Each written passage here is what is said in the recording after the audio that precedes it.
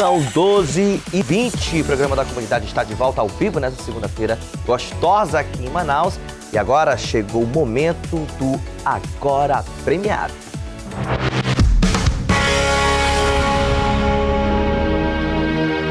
Vamos agora saber quem vai ganhar. Não diga alô, diga bolo da vovó Tereza, a primeira casa de bolo caseiro em Manaus. Alô! Bolo da vovó Tereza, a primeira casa de bolo caseiro em Manaus. Ganhou, ensaiou, hein? Tá bem falado. Com quem eu falo? Maria, Tudo bem, Maria? Você fala de que bairro? Zumbi, Alô, Zumbi, Zona Leste. Maria, muito obrigado pela participação aqui no nosso programa. Vem pegar teu bolo, tá? hoje? Hoje, até 5 da tarde. 10 Tá 5, ok, hein? tá bom. Corre aqui. Quem tá assistindo aí o programa? As crianças aqui, Raela e Um Rael. abraço pra vocês. Tchau, tchau. Obrigado, viu? Obrigado pela participação. Márcia, é contigo. Tô aqui, Bruninho, vem logo, vem vindo pra cá. Enquanto isso, eu chamo a ronda policial que vai começar agora.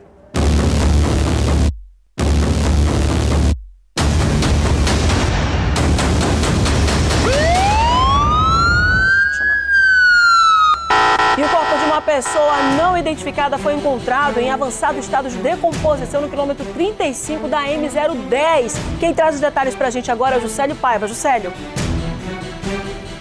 Márcia, foi no início da tarde de ontem, quando os policiais militares da 26ª Companhia Interativa Comunitária foram acionados para o quilômetro 35 da M010, lá no ramal Água Branca, depois que um corpo em estado avançado de decomposição foi encontrado por moradores daquele local. No Instituto Médico Legal ainda não foi possível identificar se o corpo é do sexo masculino ou feminino, mas a Polícia Civil informou que o corpo estava lá no ramal há pelo menos sete dias. Nenhum morador conseguiu reconhecer se era de algum morador lá da área do ramal. A delegacia especializada em homicídios e sequestros abriu um inquérito para apurar o caso e deve ouvir nos próximos dias alguns moradores lá da área do ramal Água Branca. Eu volto com você aí no estúdio. Obrigada, Obrigado, Juscelio Juscelio. Paiva.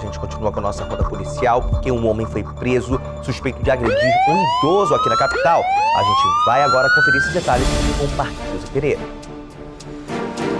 Isso mesmo, o caso foi registrado aqui no primeiro Distrito Integrado de Polícia. O idoso de 81 anos foi agredido pelo enteado dele, José Augusto Gomes, de 39. Segundo as informações da polícia, o aposentado estava em casa preparando o almoço quando o enteado chegou bêbado e começou a confusão. Primeiro ele agrediu com uma cadeira de madeira e depois com barras de ferro. O braço do aposentado foi atingido. José Augusto Gomes acabou preso e esse é mais um caso de violência contra o idoso registrado aqui na capital que a polícia continua apurando. Eu volto com você no estúdio. Obrigada, Marquinhos. Uma vergonha isso, né? Ontem à noite, um homem de 22 anos foi executado com um tiro no rosto. Foi lá no Grande Vitória, na zona leste da capital. E a suspeita é de acerto de contas motivado pelo tráfico de drogas. Quem traz outros detalhes pra gente na tela? Juscelio Paiva. Juscelio. A vítima, Iago da Silva Aquino, estava bem aqui na rua Fortaleza, segundo informações da Polícia Civil, quando dois homens chegaram em uma motocicleta e efetuaram um disparo a queima-roupas que atingiu o rosto da vítima. O Iago, ele caiu bem aqui nesse lugar. Segundo informações de policiais civis da Delegacia Especializada em Homicídios e Sequestros, os suspeitos fugiram do local sem serem identificados. A suspeita preliminar da Polícia Civil é que o crime tenha sido um acerto de contas motivado pelo tráfico de drogas aqui na área do Grande Vitória, na zona leste de Manaus, pois, segundo informações da polícia, o Iago era envolvido com o tráfico aqui na região. Agora, esse não foi o único assassinato registrado ontem à noite aqui na capital, também na zona norte de Manaus, só que no conjunto Oswaldo Frota, no Nova Cidade, um homem de 23 anos que foi identificado como Marcelo da Silva Santana. Ele foi executado com pelo menos dois tiros que acertaram a cabeça e também os braços. Segundo informações da Polícia Civil, o homem ainda chegou a ser socorrido e foi levado até o SPA do Galileia, na zona norte de Manaus, mas não resistiu. A A Delegacia de Homicídios e Sequestros investiga os assassinatos. Eu volto com você.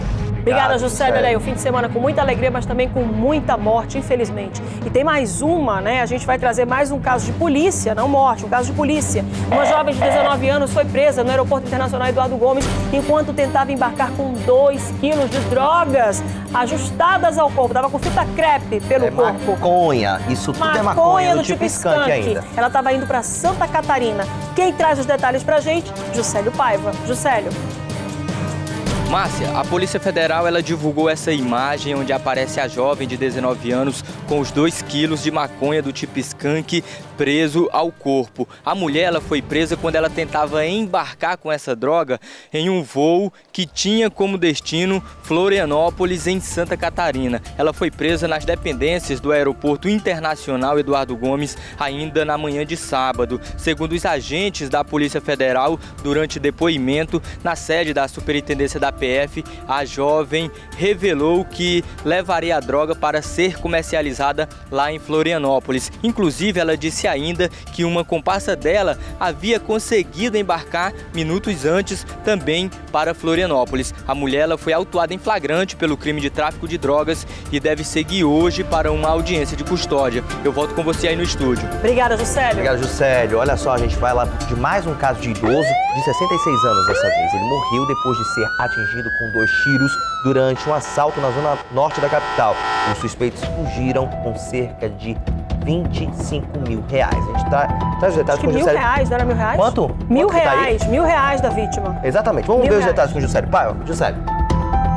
Olha, Bruno, o idoso José Marinha Marinho, ele morreu ontem à noite lá no Hospital e Pronto Socorro Platão Araújo, na zona leste de Manaus. Segundo informações da Polícia Civil, o idoso de 66 anos foi vítima de um latrocínio, o roubo seguido de morte ocorrido na última sexta-feira. Segundo a Polícia Civil, o idoso ele havia saído com um mototaxista para uma agência bancária lá na Cidade Nova, na zona norte de Manaus, onde teria sacado uma certa quantia em dinheiro, pelo menos mil reais em dinheiro. E ele voltou para a área aqui do Cidade de Deus, na Zona Norte, e ele morava aqui nessa residência. Só que, segundo informações da polícia, o idoso ele foi seguido por dois homens e quando chegou lá embaixo, aqui mesmo nessa rua, ele foi surpreendido pelos criminosos que estavam armados. Segundo a polícia, o dinheiro estava dentro de uma mochila e a vítima teria se negado a repassar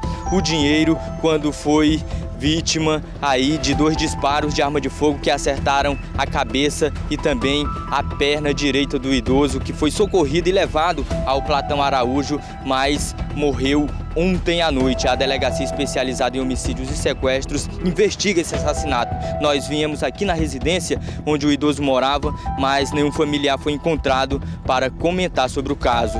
Bruno, a Polícia Civil ainda não tem pistas sobre os assassinos do latrocínio que vitimou o idoso José Maria. Eu volto com você aí no estúdio. Mas é questão Tomara de tempo. que, ó, que ache logo, né? tempo. 11h28, vamos rapidamente voltar com Marquinhos e Pereira. 12h28, com Marquinhos e Pereira, que está lá no Sambódromo, acompanhando a apuração do desfile das escolas de samba ao vivo. Ela traz pra gente as informações. Alô, Marquinhos e...